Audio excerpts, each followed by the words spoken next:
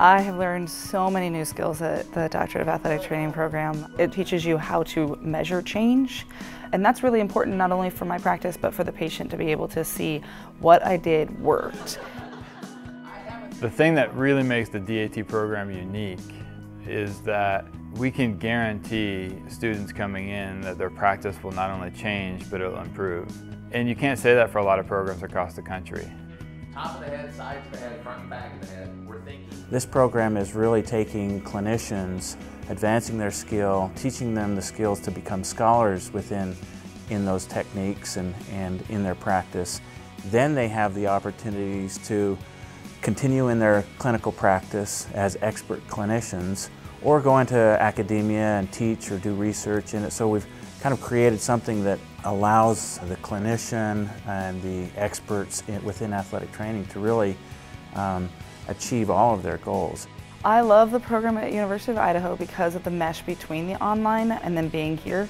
The four weeks during the summer is like a boot camp almost, and yet you walk away so much closer with not only your cohort, but also with the professors. And further back, here's the mistake people make. Being able to have a one-on-one -on -one connection was one of the main things that drew me to the University of Idaho. So when we do have class online, once a week during the rest of the year, I have a personal connection with each and every one of them, and you're not just in this kind of vague online land. Uh, you're in this together, you have great relationships with both the professors and with other students, and that part I really, really enjoy. All of our students in our residency sites do case study research, case series research, sometimes blinded research, and um, it's a good opportunity not only to improve your practice, but to actually study your practice. The residencies are opportunities to treat patients. It's not just you know, going to a place and, and watching things occur, they're actually treating patients and trying out new techniques that they've also learned and asking questions and studying. And what we found is that it's not only a, a benefit to the patients and to the students, but it's also a benefit to the, their other colleagues at these residency sites. Because of the residency program is set up to go back to either your own job or some place that you are um, working at your own, it's fantastic because then you get to take those things and carry it into something that you would be doing on a normal basis.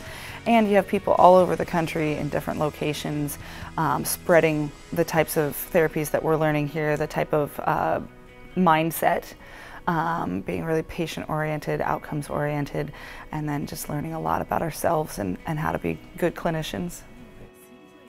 Idaho's program really changes practice. It's an academic program with a strong clinical focus. And so you kind of get the best of the clinical doctorates and the best of the post-professional doctorates and the best of the academic doctorates rolled into one. Our students leave our program with documented evidence of their outcomes and outcomes that you wouldn't believe if you weren't actually looking at the data. At the end of the day, creating new practitioners is what we're trying to do and we, we really uh, reinforce that change.